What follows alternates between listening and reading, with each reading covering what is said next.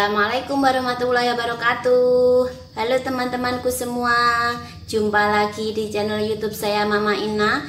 Di video kali ini saya mau bikin apem panggang tape singkong. Ini tanpa telur dan tanpa aku mixer ya. Cuma diaduk-aduk aja Hasilnya itu sangat lembut, menul, dan montok. Saya videoin Tonton terus videonya sampai selesai ya Nah ini bahan-bahan buat apem panggang tape singkongnya udah aku siapkan ya bunda. Ini tanpa telur ya. Ini ada 250 gram tepung beras. Saya pakai tepung beras band Selanjutnya ini ada 200 gram gula pasir 60 gram tepung terigu atau 6 sendok makan ini ada tape singkong yang udah aku haluskan. Ini 100 gram ya. Lalu ini santan hangat-hangat kuku 450 ml pernipan 1 sendok teh. Lalu garam seperempat sendok teh. Sekarang saya akan mulai bikin adonannya. Ini aku sisihkan dulu ini yang pertama pernipannya ini ya bunda. Satu sendok teh pernipan.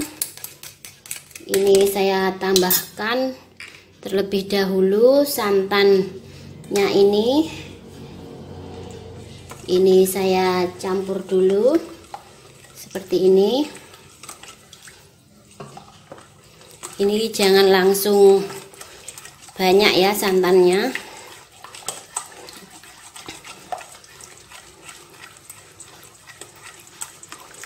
ini raginya itu dilarutkan dulu. Ini sang, santannya itu jangan sampai dingin banget ya bunda. Harus sedikit hangat hangat-hangat kuku gitu biar ini nanti si tapenya apa itu si apemnya cepat aktif. Selanjutnya ini raginya udah larut saya masukkan tape singkong ini di campur lagi dulu ya. Sambil sedikit ditekan-tekan pakai centong seperti ini. Karena ini masih mengumpul ya. Meski udah aku haluskan.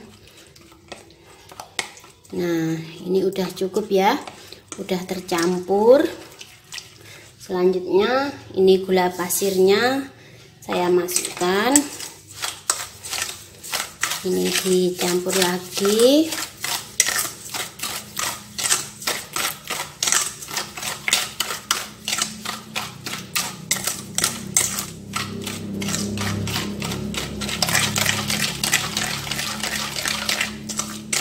Selanjutnya ini garam seperempat sendok teh garam.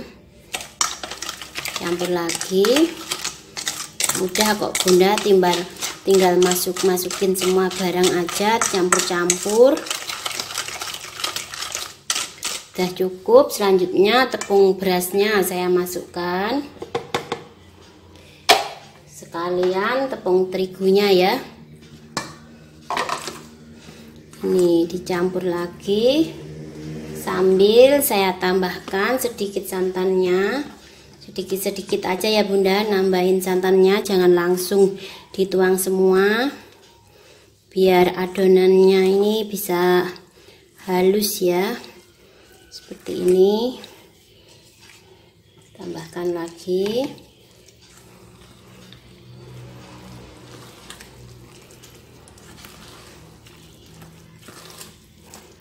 Ini terus dicampur sampai gulanya itu larut ya bunda. Karena ini cuma diaduk-aduk aja nggak perlu di mixer ya. Ini sedikit ditekan-tekan biar yang terigu biasanya sedikit menggumpal itu biar larut dulu. Jangan langsung ditambah santan dulu ya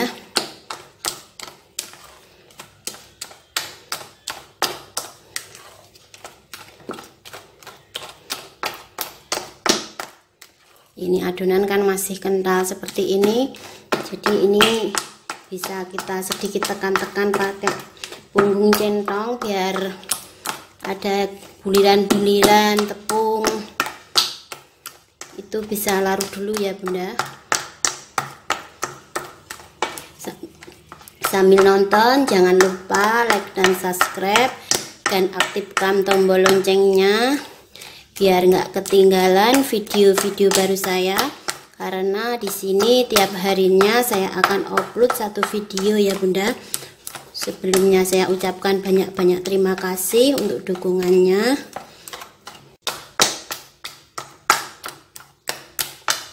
Kayaknya ini udah nggak begitu ada yang menggelintir ya udah halus. Ini aku sisihkan dulu centongnya saya ganti pengaduan ya karena ini tinggal ngencerin aja. Selanjutnya santannya ini dimasukin semua ya bunda. Ini udah pas 450 ml itu. Lalu ini saya lanjutkan ngaduk seperti ini. Biar gulanya itu benar-benar larut dan semua tepungnya itu larut ya. Jadi nanti kue apemnya itu sangat halus. Ini meski nggak pakai telur hasilnya itu lembut menul-menul bunda. Dan juga montok. Pokoknya cantik banget ini nanti hasilnya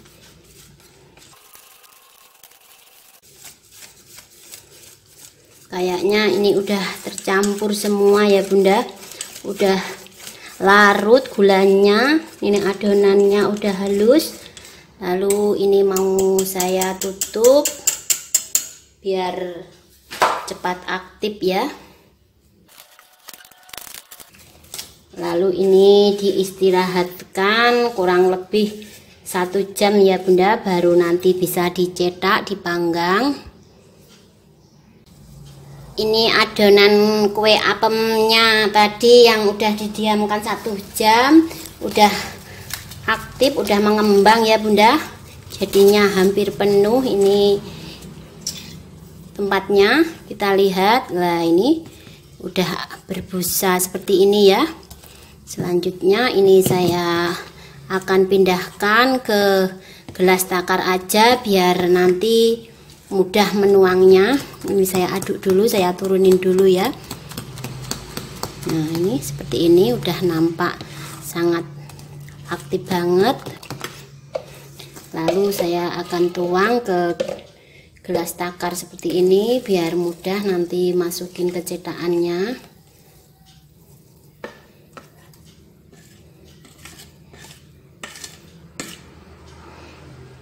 lalu saya siapkan tempat untuk memanggangnya ya. Ini tempat manggangnya udah siap saya pakai treflon buat martabak mini ya bunda. Lalu ini saya olesi dulu dengan minyak goreng. Seperti ini meski ini anti lengket tetap saya kasih olesan ya. Biar nanti apemnya juga tambah mantap tambah enak selanjutnya ini ditunggu panas terlebih dulu ya cetakannya. Ini cetakannya uapnya udah terasa panas. Selanjutnya ini saya kecilkan apinya. Lalu saya akan mulai tuang adonannya. Ini udah ada bunyi ces ya bunda. Seperti cetakan aja ini selanjutnya ini langsung aja setelah dituang kita tutup ya cetakannya. Ditunggu sampai matang. Ini nampak ya bunda. Kelihatan kalau dia nanti udah kering. Ini apemnya udah matang ya bunda. Kelihatan. Ini enggak ada yang lengket ya. Udah mengering semua. Selanjutnya ini mau saya angkat nah seperti ini bunda. Cantik kan? Montok-montok sekali ya bunda.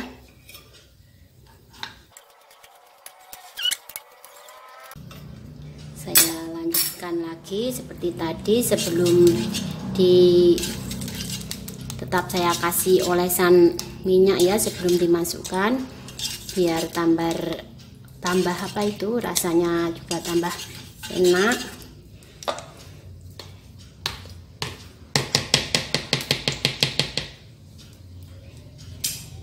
Dan ini langsung saja saya tuang lagi ya adonan yang kedua.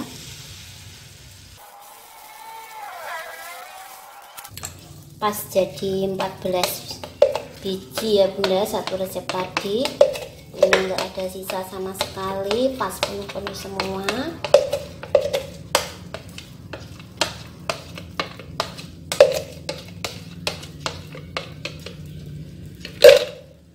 ini ditutup lagi langsung ya. Ditunggu sampai matang lagi seperti tadi. Ini hasil yang pertama ya bunda. Cantik-cantik sekali kan? Montok-montok. Ini bawahnya juga pas nggak hangus seperti ini ya. Mantap kan bunda? Ini pemanggangan yang kedua udah matang lagi juga ya bunda sama-sama montok-montok sekali. Tandanya matang itu nggak ada yang lengket. Lalu mau saya angkat. Seperti ini ya cantik juga.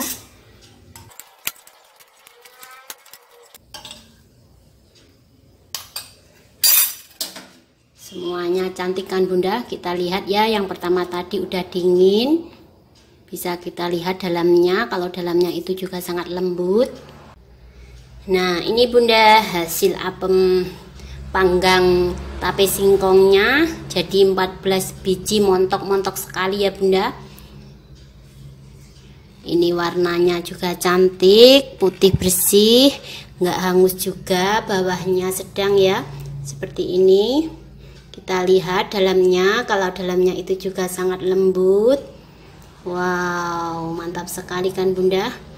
Lembut banget kayak bolu ya bunda. Silahkan dicoba ya bunda. Terima kasih udah selalu nonton video saya. Jangan lupa like dan subscribe untuk mengikuti resep-resep saya berikutnya. Terima kasih. Wassalamualaikum warahmatullahi wabarakatuh